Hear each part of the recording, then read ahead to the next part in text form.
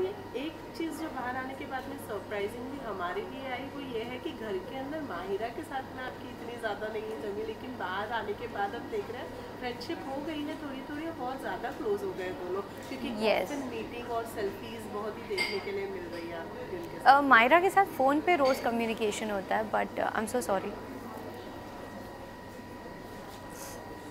can you please keep Mahira के साथ मेरा कम्युनिकेशन फ़ोन पे रोज़ होता है। It's like I am talking to my housemate मेरे घर के किसी इंसान से बात कर रही हूँ। मेरे साथ जो रोज़ रह रहा है डे टू डे की लाइफ में and she is very cute you must have seen her fighting but she also has a very cute side and I always use to treat her like a child तो मुझे actually idea नहीं था हमारा bond इतना strong हो जाएगा। But eventually घर के बाहर के पहली कंटेस्टेंट है वो, जिसके साथ मेरी बात हुई and she her called and uh, I was little amazed to know that. But I'm very happy. कहीं ना कहीं लगता है बारिश के होने की वजह से आपका और उसका यू नो कम्युनिकेशन गैप रहा घर के अंदर और अब जब पारस इतने ज़्यादा क्लोज नहीं रहे घर के अंदर बाहर आने के बाद तो आपके साथ में मायरा की थोड़ी ज़्यादा समझने लग गई है मायरा। आपके सवाल से मुझे जवाब मिला है। आपने ये सवाल का जवाब जो दिया है मुझे उससे पता चलता है कि पारस हमारे बीच में जो दुश्मन बना हुआ था वो अब है नहीं।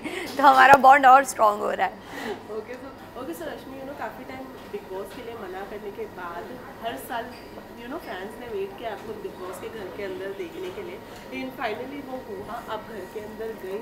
और फाइनलिस्ट बनकर अब घर के बाहर है। इस बात पर आज भी यकीन हो रहा है? हाँ बिल्कुल हो रहा है। Now I can understand the reality house and the real house difference पता चलता है। हम्म, और कैसा लग रहा है नो घर के बाहर आके? ऐसा तो हम तो देख रहे हैं पार्टीज़ एंड ऑल बहुत ही ज़्यादा लाइफ एंजॉय कर रही है। कि वो जो घर के अंदर वाला टाइम था उसे भुलाकर और लाइफ एंजॉय फुल ऑन कर रही है। यस आप बताइए थोड़ा सा कि मतलब यू नो फीलिंग क्या है घर के बाहर आने के बाद? बहुत डिफरेंट फीलिंग है। Life is very different your inside the Bigg Boss world it's very different वो बिग बॉस हाउस का नाम ना बिग बॉस वर्ल्ड रखना चाहिए हाउस नहीं रखना चाहिए।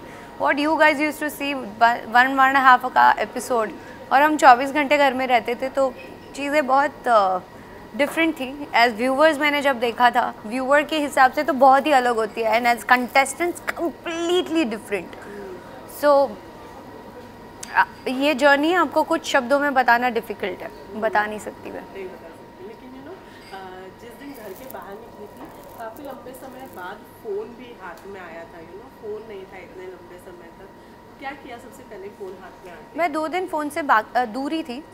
Fifteen I came out sixteen seventeen I didn't touch my phone I didn't ask for my phone I I was just eating and seventeen को मेरे पास जब फ़ोन आया तो मैं पिन भूल गई। तो मुझे कुछ याद ही नहीं था। 18 को मैंने फ़ोन ख़रीदा मैंने फ़ोन लिया तो मैं फ़ोन यूज़ करना भूल गई। क्योंकि मुझे ऐसे टच टच तो अ, पता चल रहा था। फ़ंक्शंस ऑपरेट करना भूल चुकी थी। तो ये तो काफ़ी नई चीज़ है। लेकिन यू नो आसिम के साथ में घर के अंदर दोस्ती हमने देखी है। बहुत ही अच्छी मिसाल भी बने हैं आप दोनों एक दोस्ती के नाम पे। बताइए अब बाहर आने के बाद में दोस्ती कायम है और किस तरीके से of course we are friends हमारी लाइफ घर के अंदर डेफिनेटली अलग थी and we became friends inside the house and I think मैं पहले सोचती थी कि मुझे बहुत टाइम लगता है किसी के साथ दोस्ती करने में but I realise inside the house I became more close to Devo Vishal and Asim वहाँ वक्त इसलिए नहीं लगा क्योंकि जो जो अ, हर हफ़्ते जो आप हमें देखते थे वो एक ऐसा लगता था नया युग आ रहा है। Every week something or the other is happening. So they were the only support i had. And बाहर आके अब वो अपनी लाइफ में बिज़ी है और वो बहुत अच्छा ग्रो कर चुके हैं और करने वाले हैं कर भी रहे सो so, जब होता है तब मिलते हैं नहीं होता नहीं मिलते हैं।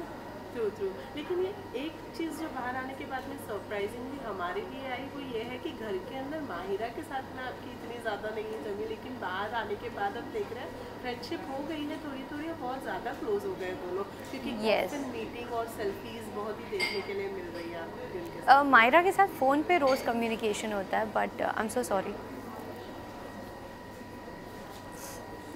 can you please keep Mahira के साथ मेरा कम्युनिकेशन uh, फ़ोन पे रोज़ होता है। It's like I am talking to my housemate मेरे घर के किसी इंसान से बात कर रही हूँ। मेरे साथ जो रोज़ रह रहा है डे टू डे की लाइफ में and she is very cute you must have seen her fighting but she also has a very cute side and I always use to treat her like a child तो मुझे actually idea नहीं था हमारा bond इतना strong हो जाएगा। But eventually घर के बाहर के पहली कंटेस्टेंट है वो जिसके साथ मेरी बात हुई and she her called and I was a little amazed to know that, but I'm very happy. कहीं ना कहीं लगता है बारिश के होने की वजह से आपका और उसका यू नो कम्युनिकेशन गैप रहा घर के अंदर और अब जब पारस इतने ज़्यादा क्लोज नहीं रहे घर के अंदर बाहर आने के बाद तो आपके साथ में मायरा की थोड़ी ज़्यादा समझने लग गई है मायरा। आपके सवाल से मुझे जवाब मिला है। आपने ये सवाल का जवाब जो दिया है मुझे उससे पता चलता है कि पारस हमारे बीच में जो दुश्मन बना हुआ था वो अब है नहीं। तो हमारा बॉन्ड और स्ट्रॉन्ग हो रहा है। ओके तो पारस और शहनाज की अगर बात की जाती है ना शहनाज और पारस दोनों अपने अपने शो के अंदर हैं कैसा लग रहा है उनको देखकर? और क्या लगता है ये जो उनकी जो स्ट्रैटेजी स्टार्टिंग में थी, जो शहनाज का, पारस को अप्रोच करना, लेकिन पारस का उनकी तरफ़ नहीं अट्रैक्ट होना, और अब एक साथ एक शो में रहना, ये स्ट्रेटजी टाइप लगता है गेम प्लान लगता है, या फिर लगता है कि चलो डेस्टिनी थी हो गया, मिल गया show I don't know, and I can't comment on this thing because it's about their profession and the show is given by the channel तो अब उनकी स्ट्रैटेजी या उनके चॉइसेस के ऊपर क्वेश्चन नहीं कर सकती हूँ मैं, क्योंकि मुझे नहीं पता है। एंड रही बात जो शो वो कर रहे हैं उसके लिए I am not following up properly I am being very honest क्योंकि मेरी हेल्थ बहुत डाउन चल रही थी और मैं ही खुद खाने पीने में इतनी उलझी हुई हूँ कि मुझे ये खाना है ये खाना है so always with my friends around movie देख रही हूँ मैं। So I don't even know उनके शो में क्या हो रहा है बट उनके शो में बलराज जो कंटेस्टेंट है उसके बारे में पता चलता है। I am very happy for him और अब जब लाइफ एंजॉय करें तब नॉर्मल लाइफ में आने का क्या कब का प्लान है? कि कब काम स्टार्ट करना है और कब अपने नॉर्मल रूटीन में आने का कब से I have already started working communicating with the people I know and definitely अगर कुछ स्ट्रांगली कंफर्म हो जाएगा I will definitely let you know Khatron Ke Khiladi में जाने का न्यूज़ बाहर आ रहा था कितना फैक्ट है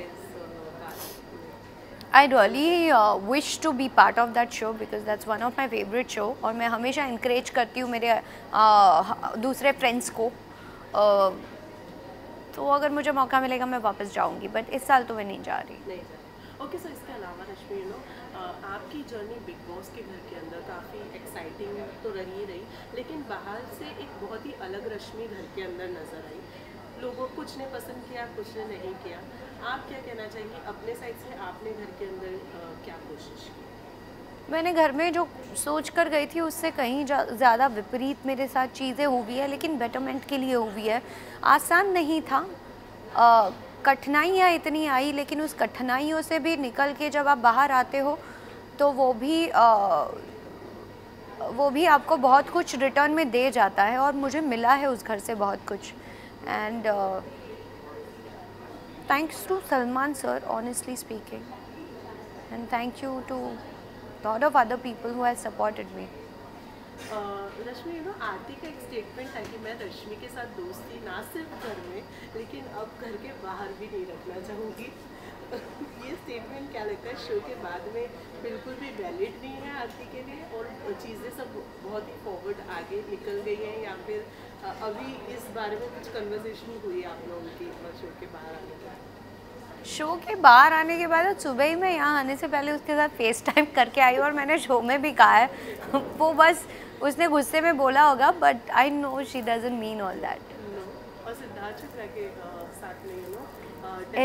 everyone is asking me कि सिद्धार्थ के साथ कैसी? मेरी सिद्धार्थ के साथ बहुत अच्छी है, मैं उसको घर के अंदर भी बोलती थी, मेरा बेस्ट फ्रेंड है। शायद इसीलिए हम लोग बहुत लड़ाई करते थे बट आई डोंट नो हम बाहर आए, मिले नहीं है, कोई कम्युनिकेशन नहीं हुआ है ऑनेस्टली काफ़ी रेयर पब्लिक अपीरियंस आपका भी रहा है, सिद्धार्थ का भी रहा है। ऐसा लगता है दोनों बहुत ही ज़्यादा आराम कर रहे हैं अभी, और आराम के बाद में एक धमाकेदार एंट्री अपने फैंस के लिए देने वाला है। है कुछ ऐसा? I don't know about Siddharth, but with me, so I have come out, went out with my uh, friends for the dinner uh, outing. मुझे खुद को बाहर जाने में थोड़ी सहम जाती हूँ बट uh, मेरे फ्रेंड्स मुझे बाहर निकाल देते हैं खींच खींच के। तो मैं जाती हूँ मैंने लंच भी किया है मूवी भी देखी है सब किया है। So I am there everywhere and having a normal life and trying to be in it